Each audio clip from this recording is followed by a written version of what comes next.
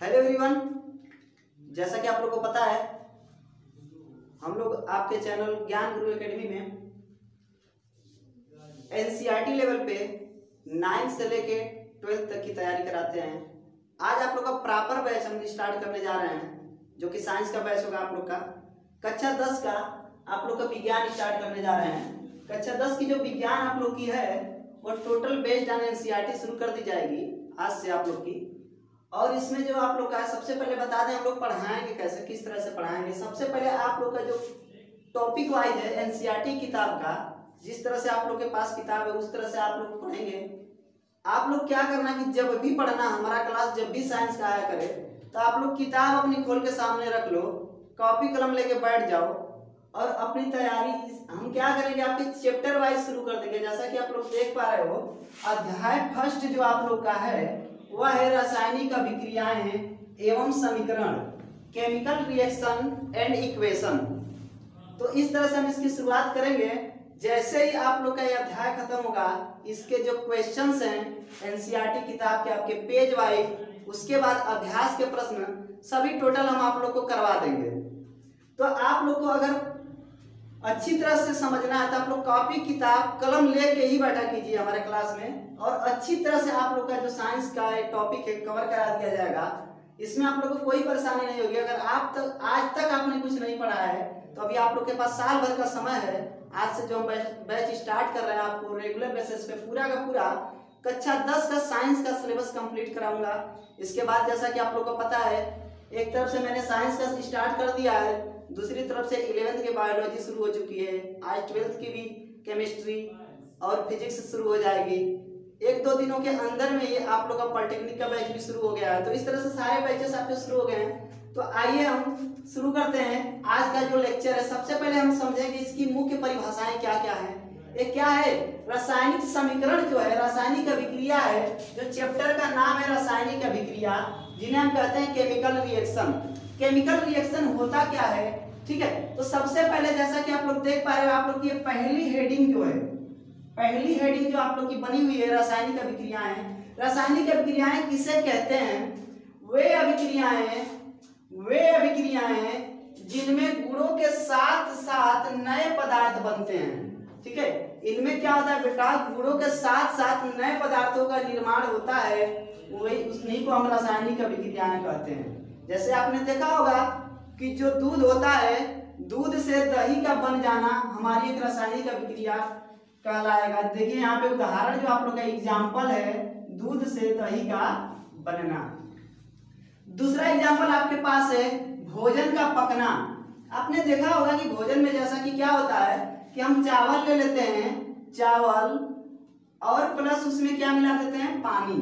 जब इनको मिला के हम रिएक्शन करवाते हैं किसी हीटिंग पे, इनको हम क्या करते हैं? जब गर्म करते हैं यहाँ पे बर्नर पे तो होता क्या है कि हमें मिलता है पका हुआ चावल। पका हुआ चावल जो हमें मिलता है, इसे हम कहते हैं कि ये क्या हुआ? है इनकी अवस्था में परिवर्तन हुआ है, ठीक है? तो ये क्या हुआ? है एक रासायनिक अभिक्रिया हुई है। उसके बाद अगर हम बात करें तो मैग्नीशियम रिबन का वायु में जलाने पर मैग्नीशियम ऑक्साइड का बनना। मैग्नीशियम रिबन की बात करें तो यहाँ पे मैग्नीशियम रिबन, यानी कि एम अब प्लस इनको हम किसमें जलाएँगे?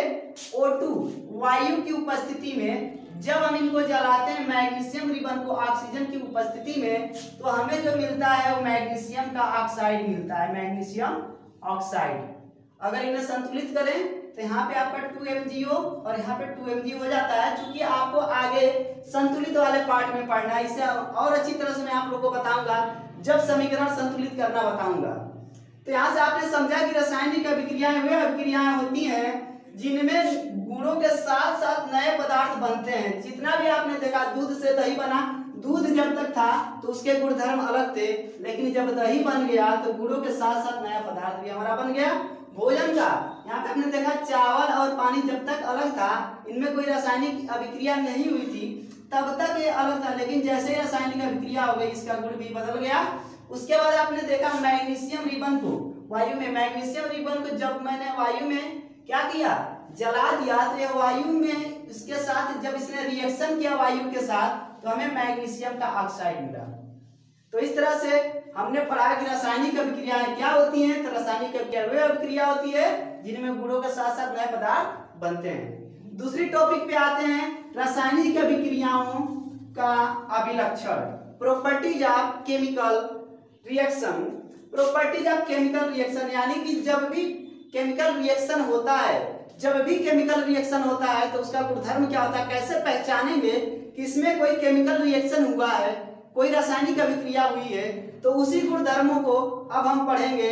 अब आइए देखते हैं कि रासायनिक अभिक्रियाओं के अभिलक्षण क्या हैं। रासायनिक अभिक्रियाओं के अभिलक्षण में जैसा कि हम देख पा रहे हैं, इनके अभिलक्षण निम्नलिखित हैं।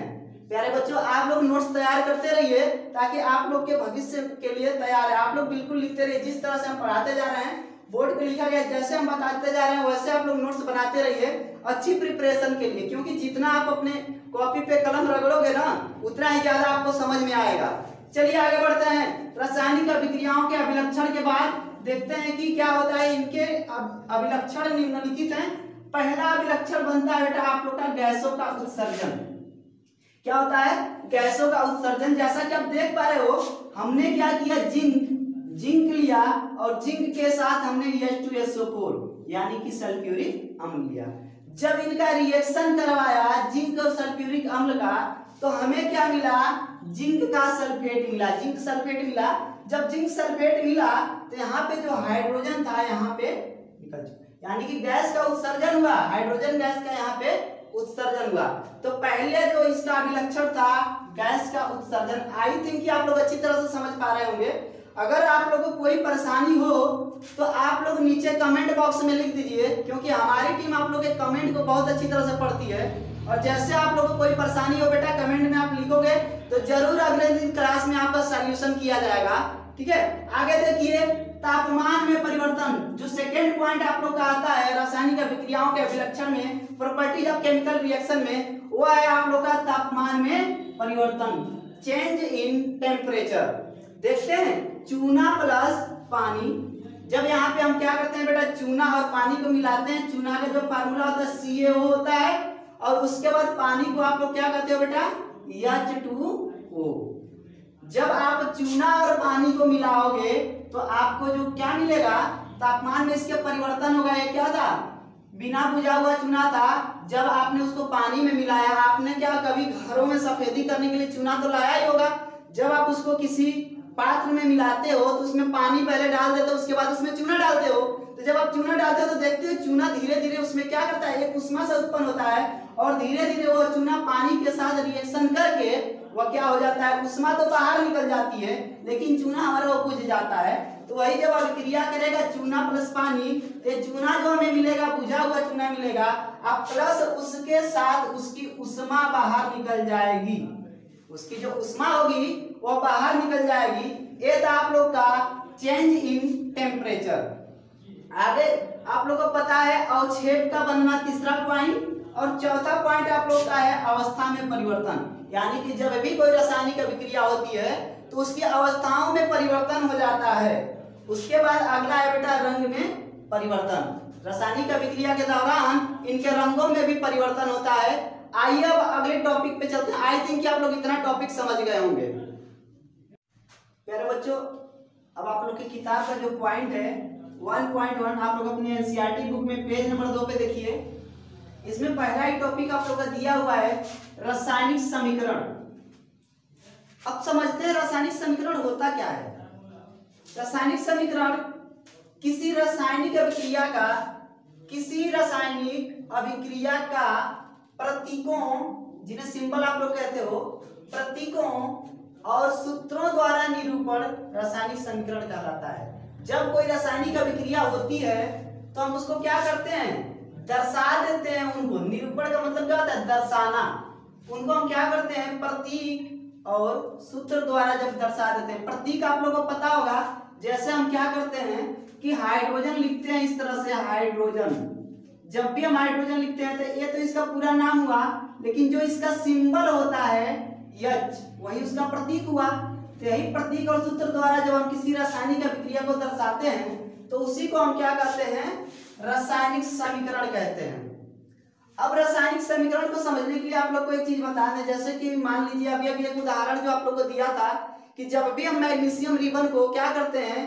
वायु की उपस्थिति में जलाते हैं तो उनके साथ, वायु के साथ मैग्नीशियम रिबन अभिक्रिया करके वह क्या बना देता है? मैग्नीशियम का ऑक्साइड बना देता है। तो जैसे कि अभी अभी हम बोले हैं, आप लोग को देखिए शब्द रूप में कितना लंबा बोलना पड़ा है। तो इस तरह से अगर आप लोग को लिखना पड़े तो क्या होगा कि बहुत ही लंबा पड़ जाएगा। तो इस तरह से हम इसे लिखते हैं। और शॉर्ट में करने के लिए हमारे वैज्ञानिकों ने एक पद्धति अपनाई। क्या किया कि मैग्नीशियम। इस तरह से लिखा मैग्नीशियम और मैग्नीशियम मैग्नीशियम। उसके बाद बेटा क्या? किसके साथ अभिक्रिया कराएँगे? पहली चीज़, मैग्नीशियम को हम जलाएँगे किसकी उपस्थिति में? ऑक्सीजन की उपस्थिति में। इन्हें हम किसके उपस्थिति में जलाएँगे? ऑक्सीजन की उपस्थिति में। और जब ऑक्सीजन की उपस्थिति में जलाएँगे तो फिर हमें क्या मिलेगा? मैग्नीशियम का ऑक्साइड। यानी कि हमें मिलेगा magnesium oxide. Magnesium plus, sorry, magnesium oxide. प्यारे बच्चों, यहाँ पे आप लोग देख पा रहे हो कि इनके बीच जो रासायनिक अभिक्रिया हुई तो हमें क्या मिला? मैग्नीशियम का ऑक्साइड। ये तो हुआ हमारा शब्द समीकरण। आप लोग देख पा रहे हो कि शब्द के रूप में हमने लिखा जिस तरह से हम शब्दों में बात करते हैं, लेकिन इसको और शार्ट में करने के लिए, संक्षिप्त में करने के लिए एक नियम अपनाया गया। क्या नियम अपनाया गया वो आप लोग देख लीजिए। प्रति सिंबल के रूप में इसे हम लिखेंगे तो और ये हमारा शार्ट में हो जाएगा। तो मैग्नीशियम, आप लोग को पता है, मैग्नीशियम को हम क्या कहते हैं? एम जी मैग्नीशियम को क्या कहते हैं? एम जी आप प्लस ऑक्सीजन ऑक्सीजन को बेटा हम कहते हैं जब हम मैग्नीशियम को ऑक्सीजन की उपस्थिति में जलाएँगे तो फिर हमें क्या मिलेगा? मैग्नीशियम का ऑक्साइड तो इधर क्या लिखेंगे? इधर हम लिखेंगे मैग्नीशियम ऑक्साइड अभी भी यह समीकरण संतुलित नहीं है, जो कि हम समीकरण संतुलित करना इसी 1.1 के अंतर्गत ही पढ़ेंगे, ठीक है? आगे पहले चीज़ समझ लेते हैं, आप लोग देख पा रहे हो कि ये तीर का निशान लगा है। इस तीर के निशान का मतलब क्या है? तीर के पहले क्या है, तीर के बाद क्या है? तो यहाँ आप लोग देखिए अभिकारक लिखा हुआ है। अभिकारक को अंग्रेज़ी में हम एजेंट कहते हैं। ठीक है? क्या कहते हैं बच्चों? एजेंट कहते हैं। अब एजेंट क्या होता है? जो पदार्थ रासायनिक अभिक्रिया में भाग लेता है, जो पदार्थ रासायनिक अभिक्रिया में भाग लेते हैं उन्हें अभिकारक कहते हैं, यानी वे पदार्थ अभिकारक कहलाते हैं। यानी कि भाग लेने का मतलब यह होता है कि कौन कौन ऐसे पदार्थ हैं जो, जिनसे मिलकर रासायनिक अभिक्रियाएँ हो रही हैं। आप लोग ने यह देखा कि मैग्नीशियम और ऑक्सीजन, दो ऐसे पदार्थ हैं जिनसे मिलके रासायनिक अभिक्रिया हो रही है। यानी कि इधर का पार्ट जो आपका क्या हो गया? अभिकारक हुआ। इन्हें हम क्या कहेंगे? अभिकारक। यही तो रासायनिक अभिक्रिया में भाग ले रहे हैं। इन्हें हम कहेंगे अभिकारक। यानी कि दो अभिकारक मिले हुए एक मैग्नीशियम और दूसरा ऑक्सीजन।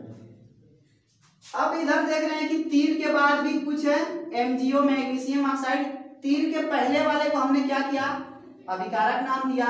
तीर के बाद क्या है? तो यहाँ आप लोग देख पाएँगे कि उत्पाद लिखा हुआ है अगले टॉपिक में। क्या है बेटा?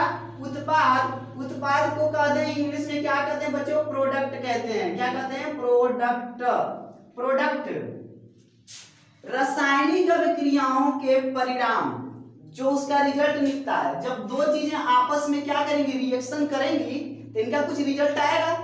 तो रासायनिक अभिक्रियाओं का रिज़ल्ट यानी कि उसका परिणाम। रासायनिक अभिक्रियाओं का रिज़ल्ट जो निकलता है उसी के, उसके परिणाम स्वरूप उत्पन्न नए पदार्थ। बेटा, जब रिज़ल्ट निकलेगा, दो चीज़ों को आप मिलाओगे, या दो या दो से अधिक पदार्थों को आप मिलाओगे तो कोई रिएक्शन होगा? तो जो रिएक्शन होगा, उसी से एक नया पदार्थ बनेगा। उसी नए पदार्थ को हम क्या कहते हैं? उत्पाद कहते हैं। प्यारे बच्चों, आपने ये समझ लिया कि रासायनिक अभिक्रियाओं के परिणाम स्वरूप नए पदार्थ जो बनते हैं, उन्हें उत्पाद कहते हैं। अब एक चीज़ आप लोग समझ जाइए कि इधर जो बना हुआ है, यहाँ दो चीज़ें मिली, रासायनिक अभिक्रिया हुई, इनके परिणाम स्वरूप इन दोनों को हमने क्या कहा? अभिकारक जो दो चीज़ें मिली। अब इनके परिणाम स्वरूप जो हमें मिला था रिज़ल्ट मिला था, वह क्या कहला है? मैग्नीशियम ऑक्साइड, यानी कि इधर जो है प्रोडक्ट है। प्रोडक्ट को हिंदी में हम क्या कहते हैं बच्चों? प्रोडक्ट को हिंदी में क्या कहते हो आप लोग? P R O D U C T product product को आप लोग कहते हो उत्पाद।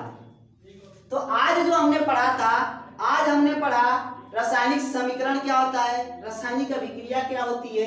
पूरा हमने रासायनिक अभिक्रिया क्या होती है और समीकरण क्या होती है? चैप्टर को संक्षिप्त में समझ लिया है। अब हम जो अगले दिन पढ़ेंगे, रासायनिक अभिक्रियाओं को संतुलित करना सीखेंगे। तो आप लोग और अच्छी तरह से समझने के लिए हमारे रेगुलर बेसिस पे क्लास लेते रहिए। और इसी तरह से आप अपने दोस्तों में हमारे चैनल का जो लिंक है, यानी कि अपनी वीडियोज़ को शेयर करते रहिए, ताकि इसका फ़ायदा ज़्यादा से ज़्यादा हमारे उन स्टूडेंटों को मिल सके। जो कक्षा दस में इस समय नए बच्चे गए हुए हैं, उनको ज़्यादा से ज़्यादा इसका फ़ायदा मिल सके जो एनसीईआरटी बुक पढ़ रहे हैं। चाहे वो बच्चा सीबीएसई बोर्ड का हो, चाहे वो बच्चा यूपी बोर्ड का हो, क्योंकि हम जो पढ़ा रहे हैं, इसमें आप लोग देख पा रहे हो कि इंग्लिश और हिंदी दोनों में बता रहे हैं। यानी कि हम बाईलिंगुअल बता रहे हैं, ताकि हमारे न सीबीएसई बोर्ड वाले के बच्चों को परेशानी हो और न ही यूपी बोर्ड के बच्चों को परेशानी हो। चलिए बच्चों, धन्यवाद। Thanks for watching